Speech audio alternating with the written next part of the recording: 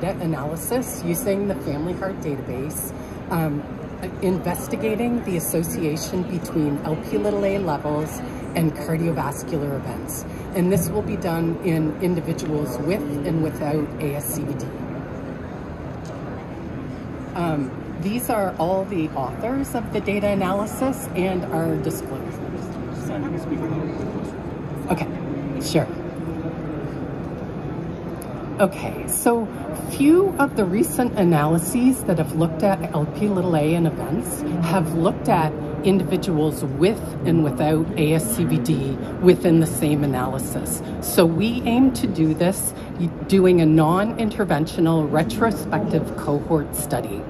Um, the date the data source was the Family Heart Database, and the data spanned from 2012 to 2021. And individuals who participated in the data analysis were at least 18 years old. They all had to have at least one LP little a measurement in nanomoles per liter, and the measurement had to occur between 2013 and 2020. And so you can see here that the index date um, was the date of the first LP little a measurement, and all individuals had to have medical claims data prior to that time to assess baseline status and after that time to assess events. And each individual was followed until their last activity in the database out to the fourth quarter of 2021. Um, just to familiarize you with the Family Heart Database, this is a database that is was created and has been maintained by the Family Heart Foundation. And it, it's completely de-identified data and it couples medical claims data with lab data.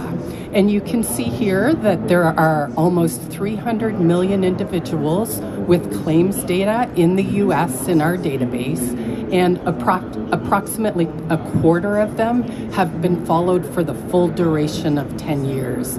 A smaller population also has lab data, including about a million people with LP little a measures. Um, the LP little a measures were completed by multiple vendors, um, all used an immunoturbidimetric methodology. And like I said before, we only included individuals where the results were reported in nanomoles per liter. Uh, the primary endpoint was time to occurrence of first ASCVD event. We used a Cox proportional hazard model.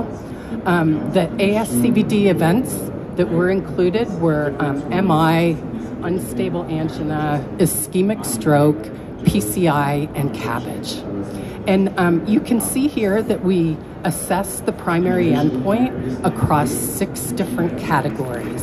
And the categories different differed based on whether individuals had baseline ASCVD and what their LP little a measurement was. And the reference category was individuals without ASCVD who had an LP little a level that was less than 10. Um, so uh, we included 393,000 individuals in our analysis. Um, 43% of them had ASCVD at baseline. This is the distribution of the LP little a levels. And in the group with ASCVD, the median LP little a level was 37. In the group without, it was 30. Um, so these are our results. And um, the top part is an unadjusted hazard ratio. The bottom is adjusted.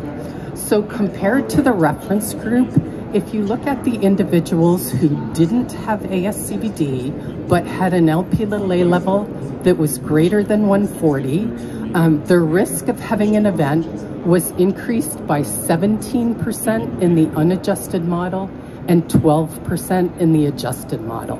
And if you look at the individuals who did have baseline ASCVD, you can see that the pattern um, across the increasing categories of LP little a is similar.